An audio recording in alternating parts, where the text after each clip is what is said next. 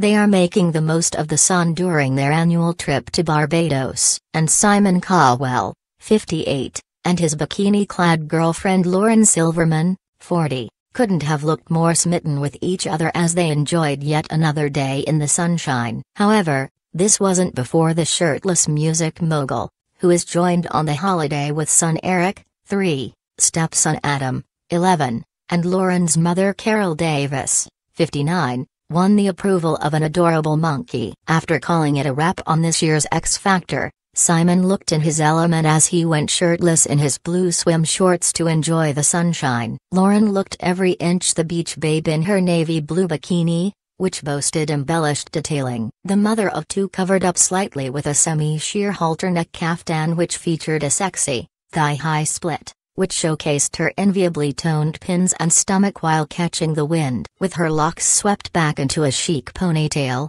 Lauren looked undeniably glamorous as she toted her belongings in a white Chanel handbag. Joining the pair on the trip was Lauren's mother Carol, who at 59 is only a year older than Simon. Carol proved to be truly age-defying as she stepped out to top up her tan in a semi-sheer crotchet white caftan. Meanwhile, Lauren and Simon's attention proved to be diverted to a sweet little monkey who clambered its way onto the former American Idol star's arm. Quite the animal lover, Simon, who was clad in a pair of blue-tinted shades, couldn't have looked happier as he doted on the animal. It wasn't long before the water activities commenced with Cowell making his way across the waters on a jet ski. Lauren decided to forego any adrenaline-packed activities as she headed out on a boat with her family and friends. Generous Simon has invited a huge crowd of friends and family to his favorite spot in Barbados for the extended break with the group celebrating Christmas and New Year's together. The media mogul has owned a property on the picturesque eastern Caribbean island for a number of years. In 2013,